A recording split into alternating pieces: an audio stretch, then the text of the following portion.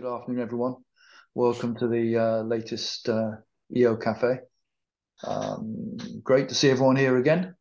Um, second one in two weeks uh, because of the, uh, the, the previous rearrangement. Um, so just a, a, reminder: normal rules. Um, leave your microphones off unless I ask you to uh, to join the conversation. Um, happy for you to leave your cameras on so that we can see you and we can uh, have a better idea of who's on the call. Mm-hmm. Um, if you have questions, please put them into the chat. You know, we normally go through for about 40 minutes and then there'll be questions and uh, you, know, you join in.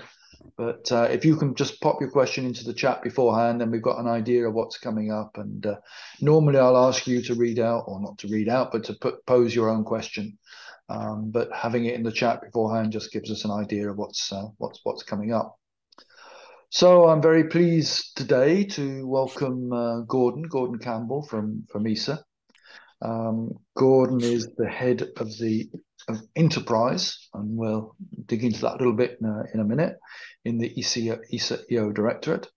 Um, now, ESA, as I guess most people here will be fully aware, has a mandate to support industry. It's part of the um, um, the the, the um, um, constitution to um, support the European industry, support the development of the industry, uh, fostering industrial competitiveness, building capacity, and um, seeking to increase, increase investment in the overall space domain. And generally, this is focused on the upstream, but increasingly member states are acknowledging the importance of leveraging the upstream investment to develop a downstream industry and uh, so justifying and exploiting the upstream investment. And this has manifested itself uh, also in a, a, recent creation of a new directorate, uh, the commercialization director in ESA, that again we'll talk about. So driving innovation is one of the keys, and in recent years, ESA has launched a number of initiatives uh, with this goal. InCubed, the BICS, the accelerators, the Phi Lab are all examples where ESA has led the way, and DestinE is another one where maybe there will be uh, good commercial uh, opportunity, innovation uh, opportunities. So the group in Frascati, led by Gordon, has long been a supporter of the EO services sector and has itself launched many initiatives, including the GMES service elements, uh, a number of best practice projects, links to the international financial institutions, and I'm sure that Gordon will uh, will cite others in in that. Um, so it's sometimes as we've um, we've we've heard about some of these activities. Uh, we've had Steve Coulson and Chris uh, Albrecht on in the EO Cafe before, so it's high time we got to know a little bit more about how Gordon is uh, is shaping the uh, uh, the activities. So, Gordon, welcome to the EO Cafe. Thank you. Um, Pleasure to be here. Um, maybe we could just start just by saying a few words about yourself and how you get to be head of enterprise in the EO directorate in ESA. Uh, well, I mean, so I got a PhD in geophysics. Um, I was working in the UK on the defence sector many years ago, um, at the point at which the Soviet Union collapsed. So uh, mm. A lot of the companies in the defense sector started looking for other things to do, and um, we got into telecoms and air traffic control and uh, remote sensing. So, based on that, I then ended up over in Esrin in the mid 1990s at the point where we were trying to uh, uh, i mean at, at that point uh, really the exclusive focus of ESA was on the space hardware um, so i was um, asked to come over and help set up a sort of application focused uh, capability mm. back then in the mid 90s, and I've been here ever since, doing uh, uh, various you know different applications developments, whether it was as you said the GMES service element, um, work, the um, working on the uh, uh, the initial uh, activities with the World Bank, European Investment Bank, Inter American Development Bank, um, looking at some of the more um, you know the, the, less touched domains where we can still make impact, like law enforcement and things, and and now really with the um, uh, you know with the the, the massive um, expansion of uh, in particular downstream or new space capabilities, you know, there's a lot of stuff that is um, you know, 10, 15 years ago, the majority of things around Europe were somehow invented by ESA.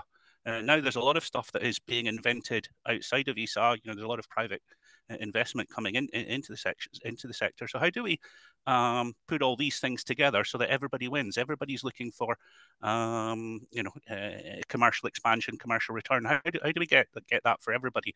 Um, the small guys, the big guys, everybody. And how do we expand beyond um, the traditional idea of geospatial information? How do we get out of that into um, the sort of wider uh, all, all, the different analytics domains that um, this type of information can be uh, integrated into. Uh, and so, you know, how, how, how, do we do that? And I think that's that's really where we're trying to go um, go, go now. Get get out of this, the, you know, the sort of things that people were saying maybe ten years ago, spatial is special and things like that. And we say it's not. It's it's it's part of something that, that should be in a much wider uh, context. That's how, uh, if we're going to get a, a, sort of step increase in the geo return, I think that's one of the, the, the main things we have to be looking at. So yeah, that, that's that's where we've come to now. You've muted yourself. I think I've already talked to you. Yeah, yeah. Sorry about that. Um, yeah, you mentioned GeoReturn, um, key tool that ESA has, um, certainly in terms of uh, industrial policy, and uh, makes an enormous difference compared to uh, uh, the Commission and other um, well, essentially the commission and union uh, activities. I recall um, when I was uh, a young engineer, I mean, ESA was seen as a customer. You know, there was not really this notion of trying to uh, you know develop and use it as a lever to develop other activities outside perhaps of the uh, the comms domain where uh, there was you know, quite strong commercial activity and commercial actors sort of have built up, but but to buy satellites, and it was all about selling uh, selling hardware. And certainly the the situation has has changed a lot um, over the last uh, 20, 10 years. So um, you're head of enterprise. Enterprise can mean many things. An enterprise can be a business. Uh, it can mean a project that requires creativity and boldness. Um, it can mean a readiness to embark on new ventures. In other words, to be enterprising. Uh, which of these applies? What's the in the context of ESA? What is it to be head of ed, head of enterprise? Well, that's I, I don't think I've thought of it in those um, in that level of sophistication or uh, so far. I mean, um, what we're what we're I mean the core activity is about um, stimulating industrial competitiveness uh, inside Europe. I mean, when we started doing this sort of applications development, you know, um, a million years ago, um, there was a lot of technical issues that had to be addressed. You know, I mean, the the availability of the Earth observation data wasn't sufficiently reliable. In uh, network connections weren't. How do we get you know these complicated data sets into uh, a, a, situation that um, normal operational users yeah. Reels of uh, tape. Yeah, yeah, yeah. No, I mean, you know, it's it's uh, you know, um, we've we've got this. Um, one of the exhibitions you can come to in ESA is is um, you know all the old HDD tapes and things like that, and um, all the young people fall about laughing at the idea of uh, yes. um, mounting one of these things. Um, so, but in in those times, uh, we used to fund sort of application demonstrations and look at uh, you know that that was that was the core of it. How can we show this this type of stuff working um, as best as it can? And I mean that that's was sort of led into GMES service element things as well. Now we don't need to do that. I mean, with all of the hmm. um, you know the, the, the platform environments that we have, the DIAS developments, uh, Amazon, all, all, these sorts of capabilities, the processing uh, is there, the access to, to to the data sets is there. So the effort you need to sort of demonstrate new applications of NDVI or something like that. It's not that complicated anymore. Okay, so I mean, it's not that we've, we've stopped doing that, but we're saying that's not the um, you know that that's not the difficult thing that it used to be uh, in in the in, in, the early 2000s. So if you want to do that, we'll still support you. We'll still support you as ESA uh, if you want to develop these sorts of commercial uh, activities. But it's done in a different way. That that's done under programs like InCubed and Bass, etc., where we would expect a co-funding from industry because the returns come back to industry. You're not really pushing the boundary, you're pushing a market expansion. So that comes back to you. You're, you're, developing your customer base. What we're trying to do in, in the enterprise, we're saying, okay, that's all fine. Um, but there's a lot of stuff that isn't going to happen unless we come along and shake the tree a bit. Uh, that's that's what we're saying up till now. So, for example, uh, if you look at uh, a lot of the new uh, systems that are becoming available, the new uh, commercial X-band SAR systems, uh, systems like Planet, you know, with a number of uh, you know, a, level you know, constellations, a level of persistent uh, that is, you know, people were just dreaming of ten years ago. Um, what are the what, what are the things that we can do with with, with that sort of uh, capability? So, for example, uh, we can start. You know, we started the um, the, whole sort of INSAR going into PSInSAR as a uh, getting that as a a sort of recognized, accepted, credible uh, measurement approach for uh, land motion characterization. I think we're at a similar starting point for a number of new techniques, like uh, you know techniques that were in the past quite limited uh, in the civilian domain. So things like uh, inverse SAR processing to focus and understand what you know if, if, something's moving in the SAR image, um, mm. can we reconstruct that and understand what it is? Mm. SAR microdoppler processing, so we can look at uh, vibrations of extended targets and you know, figure out what's going on there. Uh, low light level enhancement for um, uh, optical systems that are acquiring outside of the nice half past 10 in the morning uh, time scale. So you're looking at, uh, you know, eh, close to dusk or wherever, low contrast feature extraction, all that type of stuff. You know, it, it's not coming out mainstream. Um, and a lot of the publications, the research publications in academia, it's not in Europe, it's elsewhere. So how do we get you know, how do we get European data benefiting from the, these type of uh, academic uh, developments? How do we get these into industry? So that's that's the first thing we're trying to stimulate is stuff that is kicking around that isn't coming out of academia that is potentially useful. How do we get that into industry and into applications and um, when when possible in front of users and customers so they can say yeah this is this is useful. Uh, let's take this further. How do, how do we integrate this into operational practice? How do we develop this into uh, an eventual business? But we're, we're not looking at the business as such. It's too early. We're looking at how do we get this stuff into industry in an industrial setting and then uh, industry can find a way to take that forward the other thing we're looking at is uh, sort of structural problems that are inhibiting the uptake of uh, civilian uh, EO derived information. Whether that is how do we more effectively integrate the Earth observation with other data streams. So, uh, for example, mobile network information. There's a lot of mobile network information with, but it's it's, it's a totally different structure. I mean, the, the, the, update times of these things is every few seconds. Uh, how, how, do, how do we combine these sorts of uh, heterogeneous data sets into a, an integrated analysis uh, product that makes sense, that is obvious, people can understand uh, how to use it. So these sorts of technical problems, how do we address structural problems in the uptake? So if we're looking at, for example, um, a domain like civil engineering, if there's uh, engineering best practices that all the civil engineers have to stick to, and that doesn't mention any Earth observation capabilities, um, how do we get these civil engineering companies to use EO-derived information? We have to work with the regulatory uh, bodies or the industry representative bodies in these sectors and progressively get the uh, the regulation and the best practices changed. And that isn't just let's change it and make everything all right. You have to work through the individual examples and say, you know, if you want to do PSInSAR for monitoring stability of infrastructure, uh, this is one way of doing it. Your combination of PSInSAR, SBAS, etc. Uh, just you know, straight three image differential interferometry isn't good enough. And we, we go through these sorts of use cases and say this is fit for purpose. This is not really fit for purpose this other one but you can under some circumstances and this other stuff over here forget it we, our recommendations don't use it.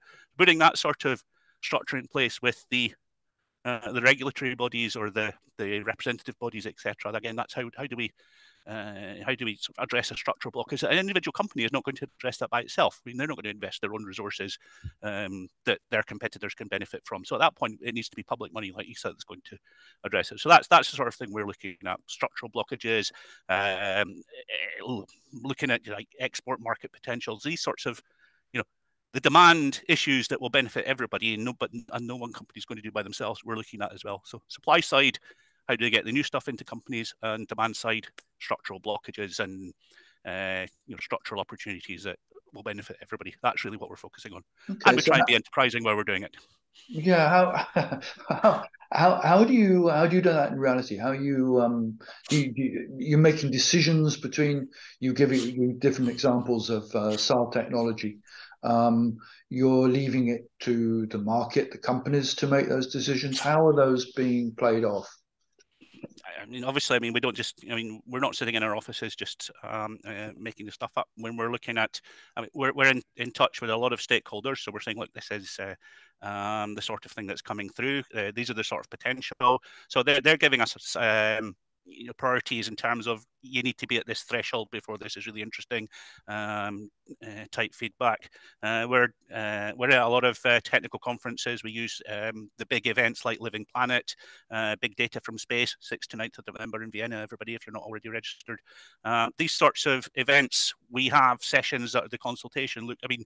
Um, we had uh, the last um, uh, Phi-week, we had quite a good uh, session with all the guys working on super resolution enhancement for optical and infrared data. So everybody, everybody has got the capability. Come round and we'll discuss how to move forward on this. Where the priority areas that have to be developing, and we're looking to organise um, another workshop on that uh, in the near future. Either a dedicated, um, whoever's interested, come along uh, to an online uh, discussion, or um, something dedicated February March next year in in a in a bigger workshop if we find a bigger workshop to to uh, embed it into. So we say, look, we've come a certain way with super resolution, but we've still got a whole bunch of people making completely improbable claims on PowerPoint slides on what we can do with Sentinel-2 data, and you know, how, how do we how, how, do we get something that you know is reliable, credible, does what it says all the time, uh, and um, you know it, it's fit for purpose. So these sorts of consultations are also um, you know, absolutely uh, critical and fundamental in terms of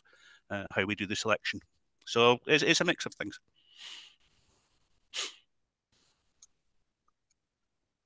Yeah. Um, okay.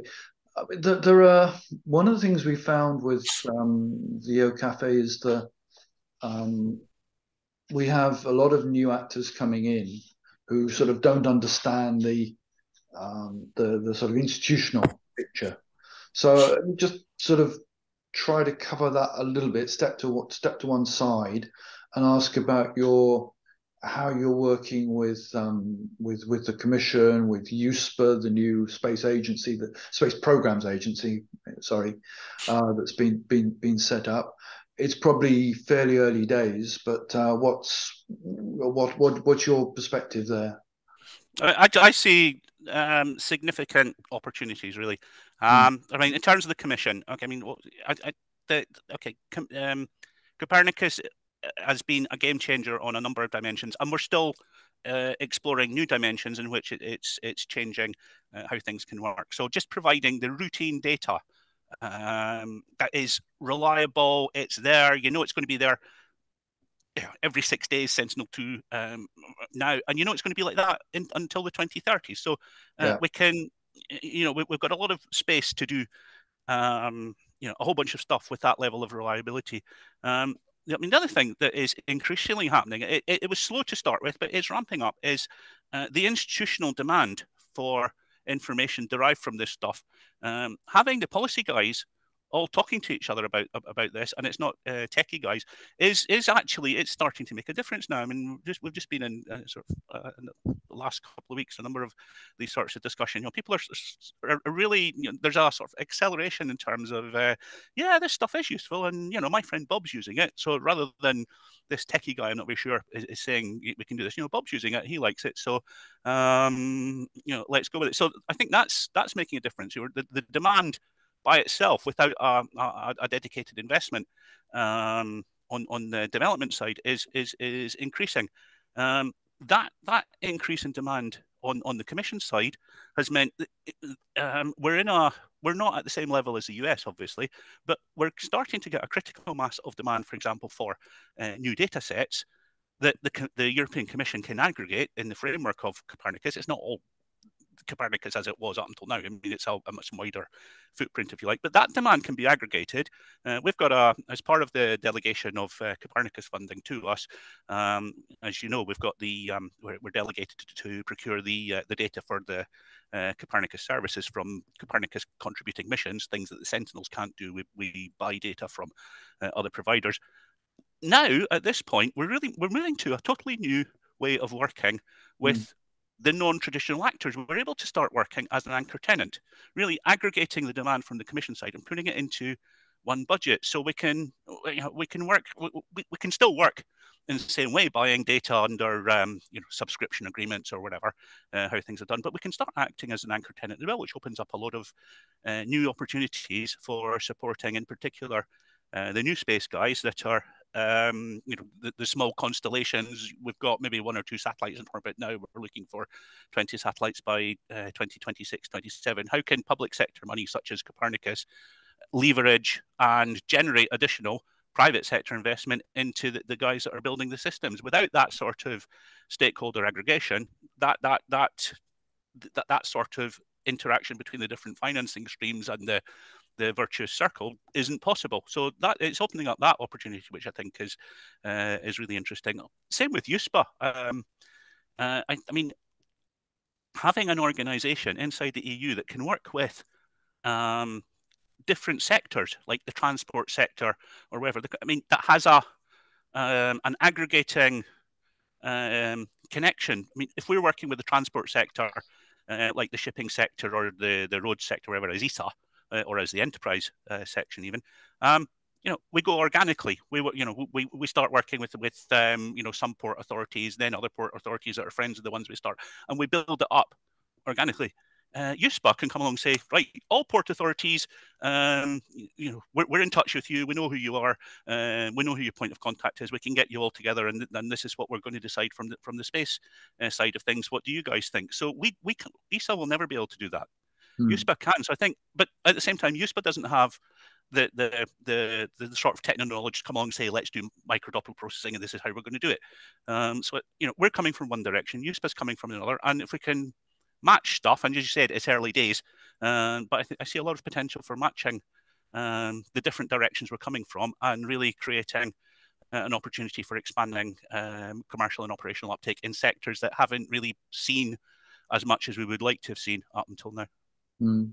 You're you're evoking very much what we um, consistently find in in the work we do on on SEBS, the uh, the benefit uh, analyses, where unfortunately it still very much depends on a champion.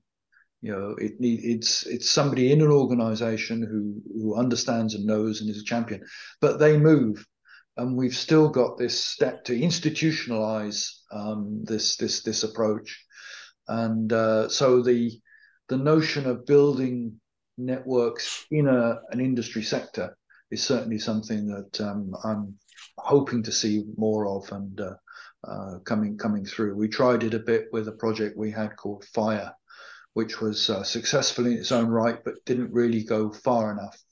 Uh, and being a commission project, of course, it, uh, it, it comes to an end, and we need to find ways to continue with that. Um, I think the other the other thing, just um, yeah, thinking thinking about. It, I mean, you mentioned EUSPA. Uh, I mean, I don't know if you want to come back to it later, in which case tell me to shut up. But I think the other thing that has come from uh, this type of aggregation is is is the destination Earth idea as well. Uh, you know, I mean, that's again, you know, there's there's a core investment coming from the European Commission in terms of putting a um, you know, an advanced capability for Earth system modeling, uh, whether it's you know the extreme events type model or, or climate model. Um, that gives us you know the the predictive capability for uh, the Earth system, uh, which is is interesting in itself. I think if we can start doing, uh, um, you know, how, how do we take the outputs of these climate models and get them into the sort of analysis models that different uh, industrial operators or whatever will have. Mm. I mean, if you look at, for example, um, steel production. I mean, what do how how steel production going to have to go through a green transition that will be, you know, climate neutral and cope with climate adaptation conditions over the next uh, 50 to 100 years. Um, how, how do we support that that happening? Um, so the core model of the Earth system is there.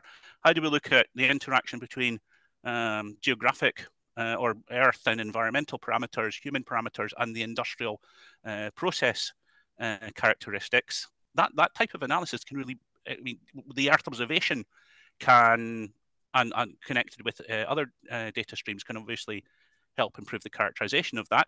There's um, various um, modeling uh, uh, methodologies different from the sorts that we're doing in Earth system modeling, so agent-based models, these sorts of things.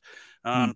How do we drive these with a combination of Earth observation data and the outputs of these uh, digital twin Earth core engines to really support the big European industry go through the sort of transitions in an optimal way and uh, exploit the emerging opportunities in there. And I think this just being um, in the position that we are, that the Earth observation is connected to the modeling, is connected to the infrastructure. Again, I think the start and part of the the driver for that is this this sort of institutional coming together.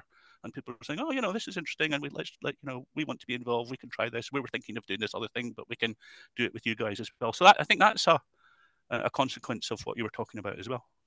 Yeah, and De- DestinE, Destination Earth, are fostering new uh, new relationships and new uh, um, yeah, new new like, new new ways to new analysis that wasn't possible before.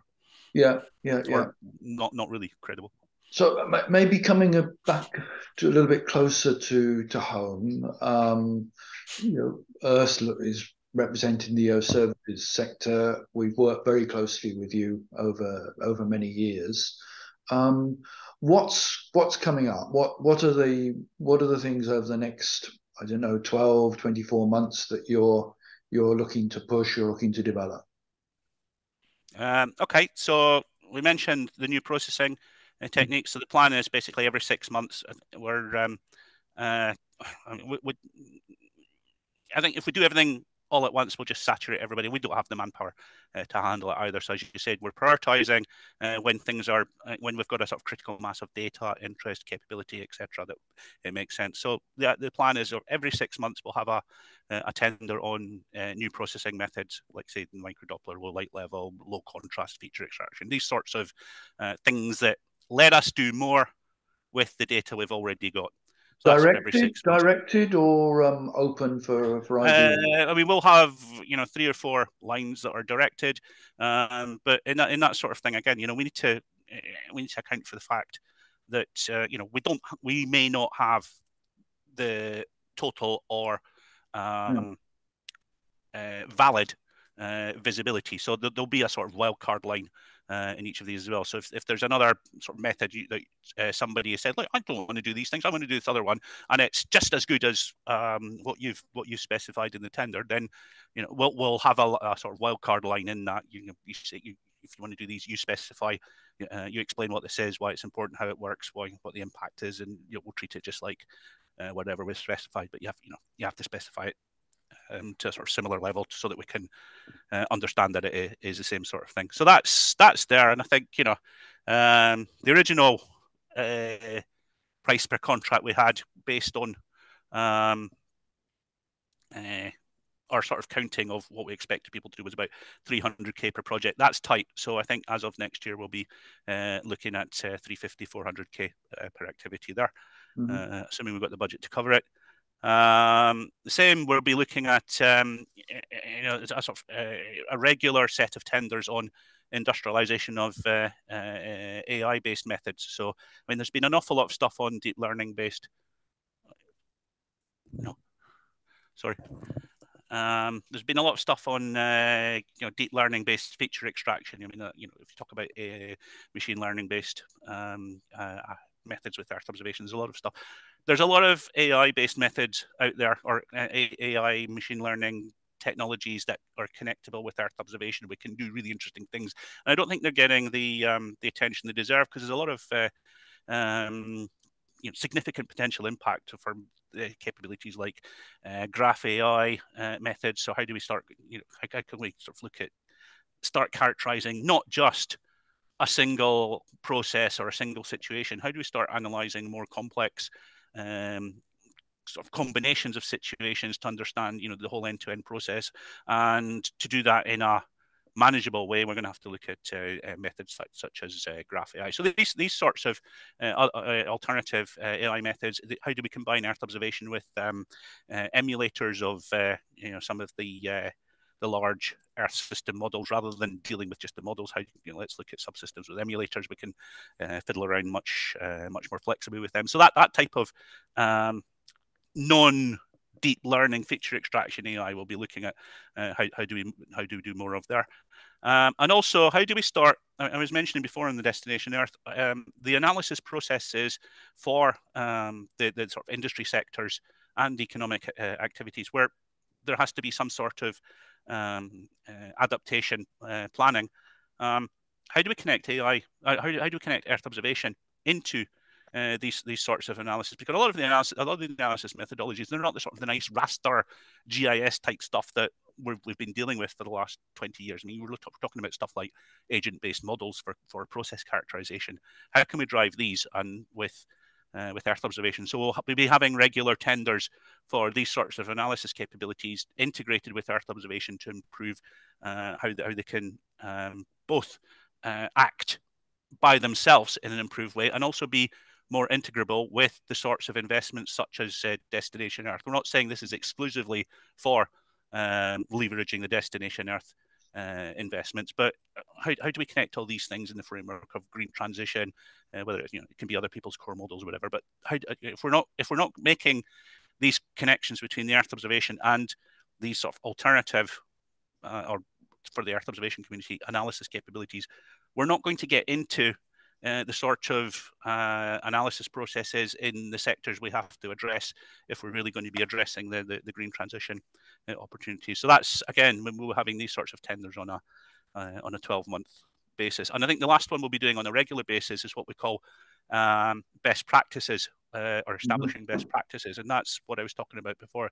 That's like looking at um, priority sectors and saying what are the, the sort of structural impediments yeah. inhibiting uh, uptake of Earth observation. Um, what are the Earth observation, the priority Earth observation uh, capabilities of interest, and what do we have to do uh, to to address these structural Im- impediments? So you know we've just uh, we just opened the latest one uh, a couple a few days ago. So I think that was on um, uh, ports, offshore wind, solar, and transport, I think, transport infrastructure. So, and you know, we will have another one. Well, our work plan for next year is still to be approved by our delegates, but uh, no. the draft the draft work plan will be to have another one. And I mean, uh, we're really seeing uh, uh a, massive uh, wave of um, interest in, in areas like you know what do we really do for, for example, for um, uh, the, the whole sort of carbon trading situation. So the the effective and credible and traceable monitoring, um, you know, for uh, uh, credits, etc. So mean, all of all of that type of analysis, uh, I think you know, we're, we're we're at a point where we can really uh, make a difference and start looking at you know some of the related sectors as well. So I think that will be one of the priority areas we, we, we hope to look at uh, in in the coming years. So these are these are sort of the main uh, thing, things we're doing, and then uh, you know we're trying to think how do we. There's a whole bunch of uh, sectors that um, uh, we've never really made inroads into. Um, so I, you know, we'll be doing some thinking. Um, we'll, we, we will be bugging you guys as well, uh, and we'll be organising workshops. I mean, how do we get into some of the sectors that have been, you know, they're, they're big sectors, and we're we're still not addressing them the right way. So I mean, like tourism is one that's been annoying me for several years. I mean, there's you know, it's one of the biggest economic activities on the planet, and we're still haven't figured out from the Earth observation community, you know, how do we, uh, how do we do something that generates revenue for um, for the EO guys. Uh, manufacturing is another one that we've never really made uh, proper uh, inroads. Health is increasingly important. So there's a number of these sorts of sectors. We'll be looking at sort of consultation. How do we really do useful things rather than uh, here's some indices, uh, go off and do what you want. I mean, it, it, needs to be a different way of working, and that's what we're uh, looking at doing over the next few years. Okay. Um, so the, the program submitting to uh, to member states and need, needs to be approved. The budget is already there, I I, I assume. For the, for the next couple of years, the, the budget is there. So we, we have uh, ministerial in 2025. Um, so we're still, you know, I mean, that's still, uh, uh, uh there's still a lot of uh, discussions on um, what we're going to be coming uh, to in 2025. There's a lot of um, a lot of initiatives. Actually, I mean, commercialization is increasingly important. Yeah. Um, we have this these um, uh, uh, uh, the, the, this sort of set of accelerators that um, we're, we're sort of engaging with um, different communities. We're trying to work in a different way. Um, in, in, in the, so, I mean, there's uh, an accelerator called Space for Green Future, which so how can we work with a whole bunch of different uh, stakeholders, not in a way where uh, tell us what you want and we'll we'll get some money from the member states and develop something for you. It's how do we all work together in in in, in a way that we can really start addressing the green transition priorities. And we're not just doing monitoring of indicators or, or whatever, really getting Earth observation into being part of the solution, not monitoring the problem.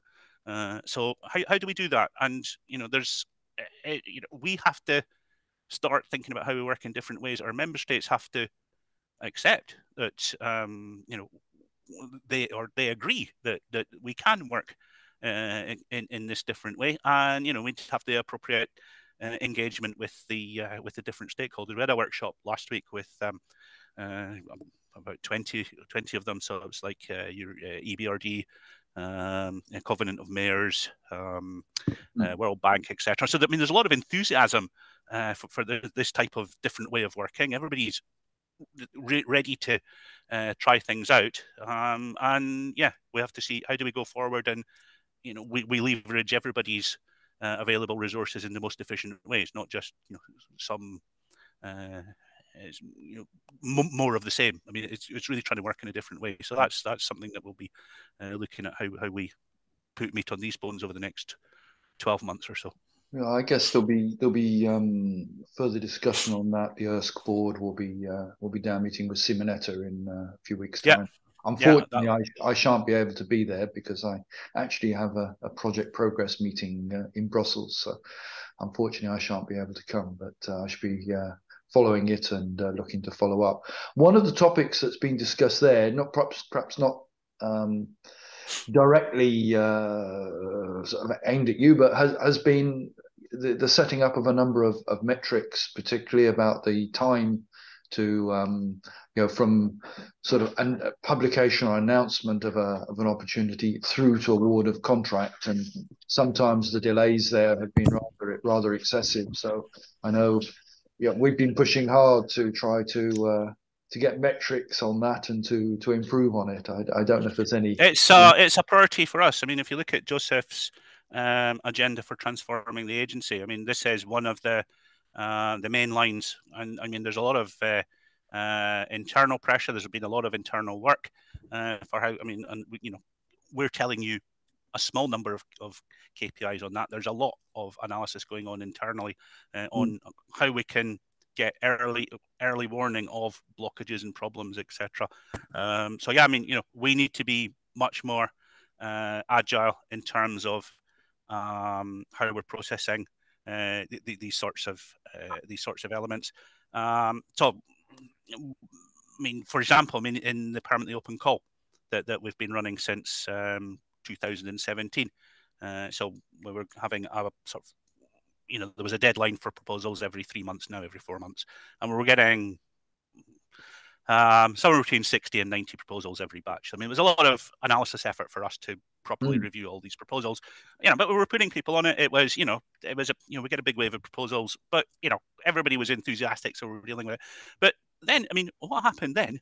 Okay, so you know, we turned the thing around really quickly. We did the evaluation, we selected the guys, and then we get to negotiating the contracts. Okay, we're not we're, at that point. We were not allowed to tell the people that were unsuccessful that yeah. they hadn't been selected until we'd signed the last of the contract with the 10 yeah. or the 12 or whatever guys that we had selected. Okay, so these guys could have been waiting for maybe like three or four months, longer even. I mean, in some cases, you know, if some of the contracts dragged on because people were arguing about obscure contract mm. conditions or whatever. I mean, you know, so in some cases, in some cases, we do, you know, we find that we're not we just the contracts aren't being signed because it's taking too long to get things back or whatever. Um, so we're not we're not under these rules we were not allowed to inform uh, the unsuccessful bidders. Okay, I mean, you can't look at um, ESA Star whatever and say, "Oh, look, it's under negotiation. Nobody's contacted me, so therefore I infer." Uh, but you know, it, it's a bit rubbish. So, um, you know, what we ended up doing. Well, firstly, we got a waiver from the contractual saying we were allowed to uh, inform people at the same time as we're informing the unsuccessful people. Now we've changed the rules. Okay, we got we got the rules changed uh, so that we're now we're now you know it, it all goes out together. So um, you know, th- things aren't set in stone. We realize there's problems. We, we look at them and we come up. We're, we're, we're trying to come up with solutions uh, on, on on these sorts of things. So you know, that's um, uh, that's happening from our side. But but look, I mean, um, it's it, industry has to play its part as well. Okay, so I mean, you know, if we're trying to turn around the signature signature of a contract very quickly, or we're trying to negotiate very quickly, uh, or whatever, come on, guys. You know, I mean, uh, it's uh, don't don't don't spend six weeks to come back on um, minor clarifications or you know we're busy. We'll tell you. I mean, if you're, you're if you're like that, you're holding up the process, and there'll be ramifications consequences of that, not just not, not just for you. So, that, mm. you know, we're all in this together. So please, you know, if you are uh, in these things, take I mean take it seriously because I mean, at some point, you know, the um, you know, we, we, we may start having to um, say, you know, if you're not interested, you know, we don't place contracts. I mean, that could be uh, one of the options. So look, you know, it's uh, it, we're both in this together. So let's yeah. uh, uh let's let's make it as good as possible. Just before I open it up for other other questions, I mean, we um, some years ago now we sort of initiated the sort of information days, industry information days. We we discussed uh, on on that. Um, is that uh, uh, information day? Is that planned? Is there anything planned on that? Uh, so I mean, we we did one in March um, yeah. Yeah. for the for the, for the new work plan. I mean, uh, mm-hmm. we'll try and do one uh, next year for uh, the work plan yeah. for 2024. we do um, with with um, with individual member states, particularly new member states, but also uh, just any member state that asks, if, if the delegation asks, we'll do a national uh, briefing. Yeah, yeah. Um, Oh, I think I think with with these briefings as well. I mean, you know that we've got sort of dedicated time set aside for one-on-one uh, discussions with people that are interested in in, in bidding. So um, the problem is, um, uh, you know, we've got maybe twenty minutes per company uh, to have a to have a chat. Um, just just let me emphasize that's not it. Okay, you've had your twenty minutes and we'll never talk to you again. It's the start of a conversation. I mean, when you see the work plan, when you see intended ITTs or whatever, if things are interesting for you, give us a call to have a discussion. Okay. Um, it's our job to be disturbed. Okay. Don't think I'm going to very busy. You know, it's, uh, you know, I'm only a little company. I mean, everybody has the same right to phone us up and ask us questions because it is our job to give you the information that you need to make the best proposal that you can. We're not allowed to tell you our opinions or uh, give an opinion on on options you might want. You know, what about you know, should I partner with this company or this other company? We're not allowed to uh, answer that sort of thing. But stuff that you need to put the best proposal forward. Uh, if you've not got that information and the tender's not out, give us a call. Or um, if you're at, if you're if there's workshops or whatever, you know, grab us by the ear and uh, uh um, you know corner us and ask ask us these sorts of questions. We're we're here to um, to support the industry, really. Yeah. Uh, and um, the, the, other aspect, sorry, is um, if you are submitting a, a, a, proposal, okay, even if your proposal is accepted and you're placing a contract, always, always, always ask for a debrief of your proposal, okay. Uh, if you're un- if you're unsuccessful, definitely ask for a debrief. If you're successful, still ask for a debrief because there may be things that you did that you know, uh, lowered your marks uh, in a particular criteria that maybe on this case it, it didn't make a difference, but in other cases it might. So just so that you know these things, um, always, always, always ask for a debrief, and it is our job to give them as well. Mm-hmm. Okay, well, for successful uh, bidders, I guess that's part of the uh, the kickoff to. Uh, no, no, I mean not unless you ask for it. Yeah. Okay. Okay. I mean, so, you know, the, the, the, kickoff is always, you know, how, how we're going to get started. Um, yeah. So, um, you know, if, if, and you know everybody's always busy and whatever. So, you know, if, if um, nobody asks them, we don't think about it. But you know, always, always, always ask for a debrief. So I hope uh, everyone on the call is is listening to that, and I think again the um, the information days are a good um, a good way to. I, I mean, if you want more as well, you know, I mean, if you want, I, I don't know. I mean, if if if you think the information isn't getting out, let us know and we'll figure out what to do about it. I mean, we can have a discussion on it if, if information is if sufficient information no, isn't getting it, out into no, sufficiently widely. I mean, we want to make sure. Um, I mean, like we're having discussion last week. Um, are we using LinkedIn and these sorts of uh, media enough, or should we be finding ways uh, to um, uh, to leverage these sorts of technologies as well? again, I mean, it's a little bit sensitive. Formally, I think the mm. rules are, you know, and uh, everybody, we're only allowed to inform people through ESA Star because uh, that's a way of ensuring that everybody gets the same sort of information. If we can find ways that, you know, it's still perceived as totally fair, there's no sort of skewing of, uh, the, the, the the contract situation by us putting information out into domains like LinkedIn or whatever. Um, you know, how do it? I mean, some people do it, some people don't.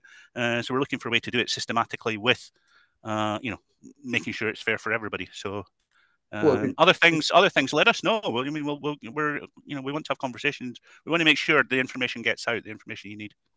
Well, if it's out there in an open way, then it's up to uh, yeah. up, to, uh, up to companies, up to individuals to pick it up. Let's uh, let's um, Emmanuel Mondon has uh, put uh, a couple of questions into the into the chat. Let's uh, let's open it up. Emmanuel, are you are you with us? He's with us. He's joining. There we go. Yes, I am. Good afternoon. Do you hear me? Hiya. Hi, Gordon. Hi, Jeff. Thanks for the opportunity. Do you hear me well? Yeah. Yeah, I have two two questions. One related to uh, the work cross directorates. So, uh, are you working with other uh, ESA directorates? And uh, if yes, uh, with which ones and what for? Uh, and then the first question was related to uh, data spaces. Uh, you were speaking about um, gathering the, demand from different industry. And what is your view on the, data sharing initiatives, such as the Common European Data Spaces? Okay. Um, so yes, we're working with multiple directorates. So we work a lot with the commercialization directorate.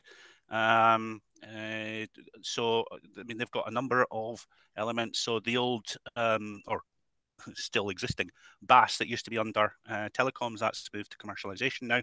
So we've kept our uh, cooperation with them. We're cooperating very closely with them on the um, Space for Green Future Accelerator, as well as, um, for example, uh, uh for the open call. I mean, if our if I mean the, our open call is focusing on, we're really looking for innovative uh, developments we get a number of proposals that are maybe not innovative, but still make sense to do.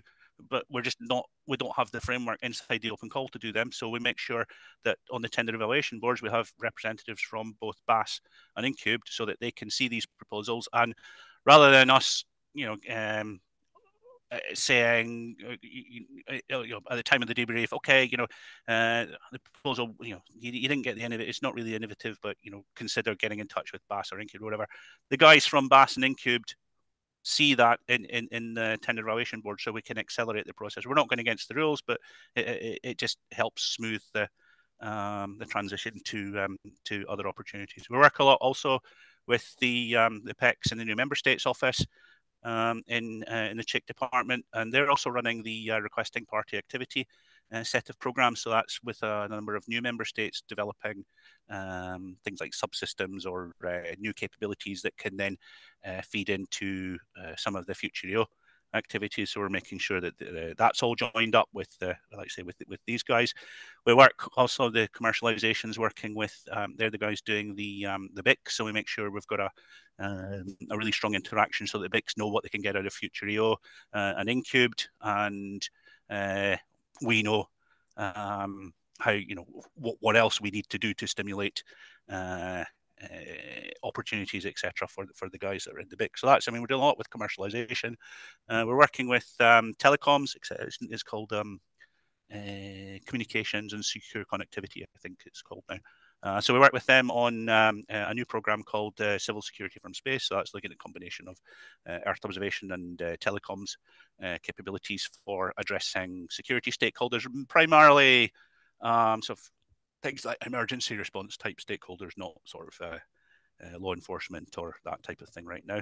Um, we work with, I mean, other directors. So we're working with the Melissa program, trying to bring them uh, in. I mean, they're, they're Melissa's looking at uh, uh, things like, uh, well, the main focus is how do we use the sort of standalone, um, isolated microbiology cells, you know, as a as, as a process for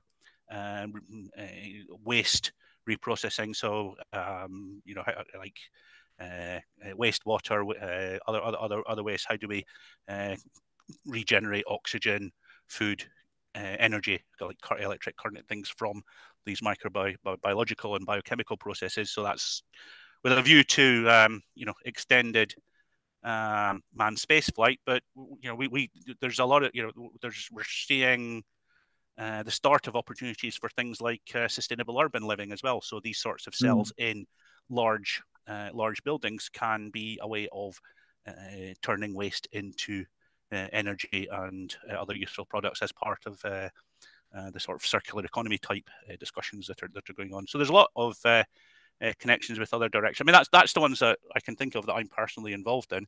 Um, tech as well, we do a lot. I mean, a lot of the the the, um, the new methods. Uh, we we collaborate very closely uh, with tech on, on these things because uh, some of what we're doing may be applicable in in uh, in other domains as well. So yeah, I mean, uh, there's an increasing amount of cross directorate cooperation. I would say in in in these sorts of domains now. Um, what, what was, oh, the, the the data space? Yeah, you know, I mean, it's it's it's clearly a, uh, any of that sort of aggregation that takes the complexity uh, out and you know makes things more interoperable, more exchangeable, more more fusible. Yeah, it's uh, you know clearly that's uh, uh, you know we need to be ensuring that that we can't just demand it. We have to put the underlying capabilities in place that enable it, and that's an important step towards that. So yeah, absolutely. Thanks, Emmanuel. Uh, is there um, any coordinated activity around uh, green transition? You've mentioned civil security, you mentioned uh, uh green working group uh, just now, but uh, is there a, a, coordinated? Yeah, so I mean, this is so we've got the Space for Green Future Accelerator. So that's a, hmm. a cooperation between ourselves and commercialization, and I say we're trying to bring the Melissa guys in on that as well. I mean, I think there's other directorates we can bring in. Uh, also, um, I mean, the, the, the, green transition is absolutely huge, a really massive opportunity. And I think I was saying before, it's how do we, you know, we're doing a lot in things like the SDGs in terms of how to monitor uh, indicators and things for the SDGs. The green transition lets us get out of monitoring and, or it's an opportunity. Let's get out of monitor, just monitoring and get into being part of the solution uh, for like industry transition, economic activity transition, urban uh, transitions. You know, how, how, how, do we support these transition processes rather than just mm. uh, doing the monitoring? So that's you know, monitoring is important. You can't manage what you can't measure, but you know, we're really trying to uh, cat- catalyze uh, transition processes that might not be possible with without this sort, you know, the information and the analysis capabilities, the forecasting, etc. Uh, that's needed for that. So green transition, absolutely. I mean, it's going to be uh, I would expect it to be a very important part of what's coming to the uh, ministerial in 2025. Mm, okay.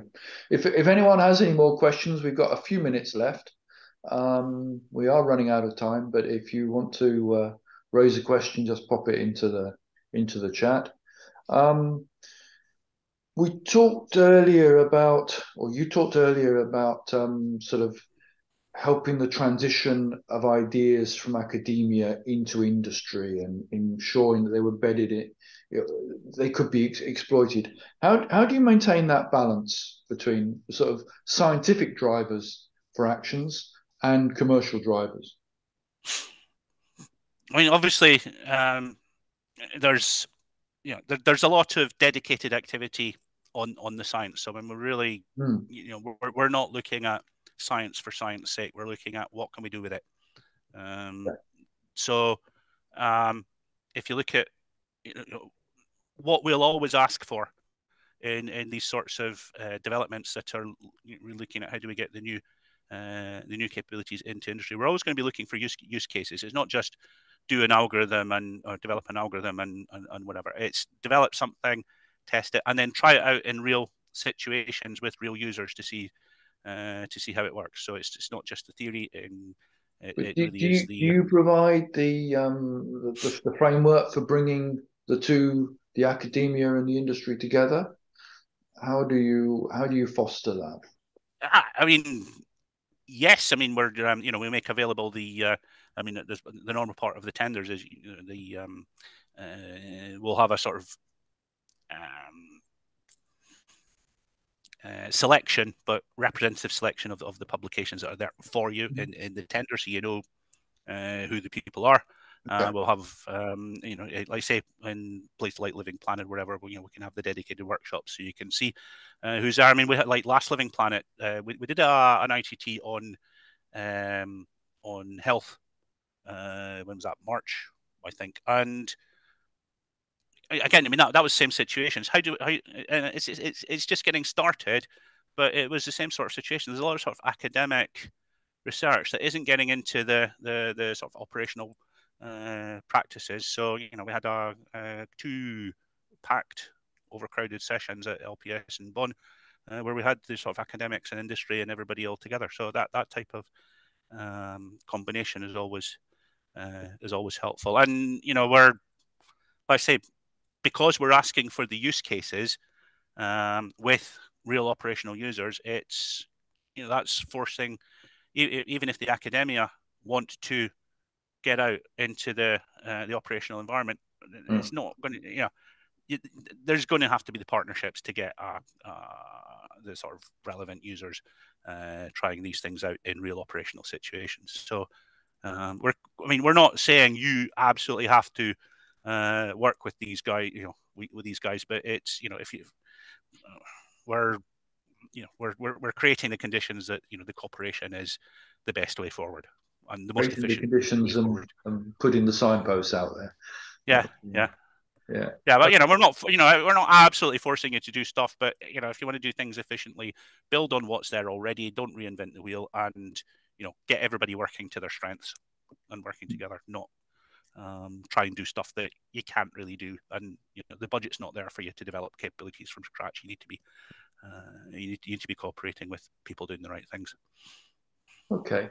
Um, just finally, then, when when we were talking um, before, uh, we were talking about new tools, new contracting tools, and uh, we've seen the DPS come in. Yeah. You said ESA can be an anchor tenant within that uh, DPS scheme, and I mean, mm. it, again, the concept is, is really good. Um, we have to see how it will will really work in in practice, but the uh, the introduction of DPS, I think, was uh, was was really. I mean, great. DPS isn't necessarily just for the anchor tenancy type thing. I mean, we're investigating it in that framework, but you know, mm. I hmm. mean, I would see, uh, you know, it, it, makes things easier for uh, some of the more complex uh, proposals uh, that uh, industry would have to write. So we, we look at, you know, hopefully, we're, we will be looking at DPS in a a wider okay. set of situations. But again, you know, we're always look, we're always interested in how can we simplify what what we're asking for. I mean, if you look at um, a lot of our tenders, um, we um, you know, for example, I mean, on, for, on the financial proposal, um, you know, I mean, everybody hates the PSS forms. Uh, we need, you know, we need a certain amount of financial information to understand where the uh, um, where the uh, where the money's going is, is public money. So, you know, it's our responsibility. We, we have to be responsible. Sure. It has to be traceable. Sure. But, you know, we don't need, you know, them bits and bytes. So, you know, we're trying to minimize the amount of PSS forms we're asking for in the financial information. We're trying to, um, uh, we're trying to minimize the amount of admin stuff in general that we're having to, that we're having to ask for. Um, and, you know, personally, I mean, was, even, uh, we were in, uh, uh a negotiation last week where you know we're even though we're, we're trying to get out of the um, you know the sort of blind uh, application of ECSS type approaches so that all the risks are managed in advance. Um, we're, we're not there yet, and I think there's you know we will be looking at um, where risks are managed in a different way. How do we change um, project management approaches uh, inside ESA as well? I mean, obviously, if we're uh, building a very expensive Earth Explorer, and uh, you know it's a it's a technology we've never tried before. Um, we're we're not going to be very open to uh, different discussions, but I think where we can look, you know, where where, where risks can be managed in in a in a different way. Let's look at how how the whole process can be changed, uh, and I think and the place to start that easiest is probably some somewhere like us with the uh, downstream or the less critical uh, developments to get started with, build how it works, where the limitations are, what we have to be careful of, and take it from there. So that's, you know, we are trying to simplify stuff, make it as easy as possible. that will be very interesting to follow. There's one one last question that we'll just take from from the chat. Gustavo Cagliori Satel, who's asking a very precise question. Um, Gustavo. Yes. How you doing? Hiya. Thanks. Thanks for the opportunity. Hi, Gordon. We Hi. got in the last uh, future EO proposal 79 points, and we do not get the the, the money just to develop the, the proposal. We sent a um, consultant about that, and we didn't get any any response about. I, I, I would like to know what is the, the, the cut points uh, on the overall of the analysis and, and the, the, the proposals. Um, so what we do is uh, we take the top, uh, however many. Um, so it's normally it's too competitive. The open call, right? I mean, the new one that we just opened, uh, we've got more money, so we're able to uh, select more proposals uh, per batch. Um, we're, I mean, we were getting, you know, regularly.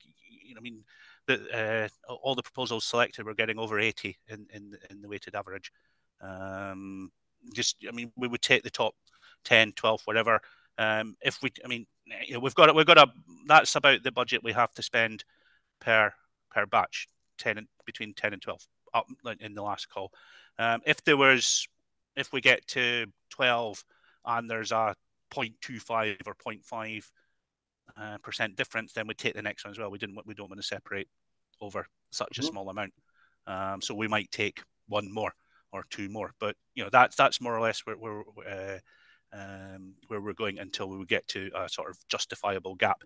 Uh, but it was too competitive. Really, um, you know, your situation is not unique uh, in this, and uh, you know, it's not nice for you. and It's not nice for us as well. I mean, it's really frustrating seeing these good proposals that we, we Yeah, from one, our side that, that we can't that we can't go with. So um, I'm I'm I'm not the the, the selection is normally we wouldn't normally use one point as a uh, as a separation. Um, what so what we've got now is basically you know much more money uh, in uh, allocated to the open call. So hopefully we can. Yeah, Um, okay. I mean, let, let's see what let's see what I mean. The, the first batch closes uh, at the end of October. Let's see what, what we get. I mean, the, Yeah. the, the I mean, pers- my one is in personal January, yeah. yeah, my personal objective is basically if you're getting above very good, I would like that we're we're we're, selecting you. Okay, so And, and um, but please, let's you know, I mean, let's let's let's see what we get. Yeah, just a last question. Uh, you would, would like to prefer just to improve and an proposal like this with a very high score, and it's better to present a new one project I think uh, uh, that's consortium. that's something I think we should address in a in a debrief with you. So, uh, can you? I'd Hmm. ask you to con- contact the contracts officer, uh, request a debrief, and we'll have that discussion with you. Because I mean, we need to look at the proposal. I mean, there's not a sort of generic one size fits all um, an- answer to that. So, uh, Okay. let's okay. uh, we, need- we, we need to look at your proposal, the TB um, evaluation, and have a discussion with you as to uh, what makes sense. Okay. Okay. Thank So, you about very con- much. con- contact the contracts officer um, that was that was named. Uh, I think it was uh, it's probably Dora Tamash. Yes, Um, that's right. Yeah. Yeah, I So sent, send an email I to sent uh, the email to, to her, but uh, I, I, I didn't get a Uh, send it again and put. put- about can you send it again and put me in copy, and I'll. Okay. I'll, I'll Okay. try and Okay. forward. Thank Good you luck, very. Gustavo. Thank you. Thank you. Thank Good you. luck. Good luck with your pursuit. Um, well, let's close it there now. Uh, Thomas Suko is asking if somebody can drop in a link for the uh, DPS um, system. Uh, it's it's linked with the contributing missions for, uh, for for Copernicus at the moment. But if it if it's going to broaden, then I imagine there'll be more. Said, we're, we're trying it out. I mean, and you know, I mean, there's some things that are, um, you know, some things are good.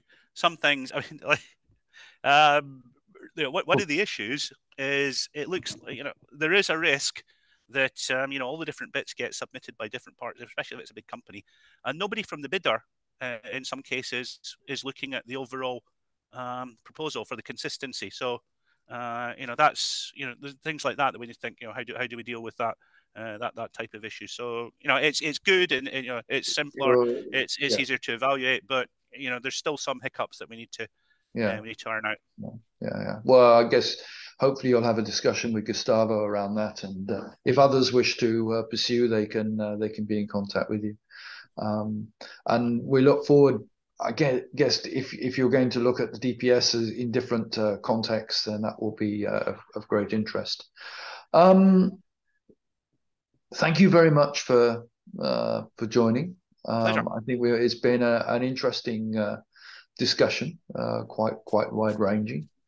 Um, please, uh, we obviously will will will talk again, um, and uh, keep keep you know EARSC is here as a channel to help uh, help you as well. We've uh, I I think you know I mean we really appreciate the fact you know I mean you know I mean obviously we talk to individual companies, but being able to talk to the overall industry and have the you know you've got the um, the mechanisms to bring an entire industry perspective to us on uh, on a whole range of issues, and you know we can have these these sorts of discussions is is very useful because I mean you know we can have consultations with all of the different companies. You know, everybody come to ESA and have a mm. consultation, but in you know, I mean, if we're on sensitive subjects, you might not want to stand up in front of a bunch of people who maybe your competitors and saying, "I'm really bad at the following things," and everybody else goes, "Ha ha ha!" You know, it's mm-hmm. uh, that's mm. that can be a, a difficult situation. So having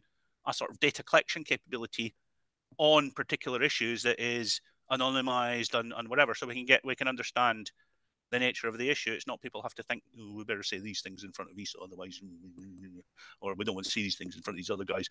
If if we can really get to you know a, a, a more accurate characterization of the issues the, uh, their importance um, constraints etc that's really valuable. And, I, and you know that's really what we're getting from EARSC and uh, really appreciate that good. And uh, you know, clearly, if there's if there's more, then um, you you you're in regular discussion with Emmanuel, so uh, yeah.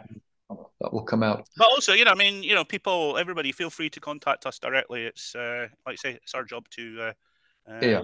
Yeah, to, yeah. to, to be available and you know but it's, uh, it's also as you say a question of having a collective view rather than individual use your delegations as well you know i mean if if, if you know if you don't want to contact us you know contact your delegations and get yeah, them to wave their delegate badge and bang table at at, yep. um, at, at, at, program boards and you know we listen to the delegations we listen to you we listen to both of you. It's uh, so you've got a number of mechanisms for um, getting your voice heard. Okay. No and, and addressing addressing problems or concerns or issues that, that you, that you think you might have. Yeah. Yeah. Okay. So thanks. We'll bring the EO cafe to uh, to a close at that point. Uh, next EO cafe in two weeks time um, normal time, normal place.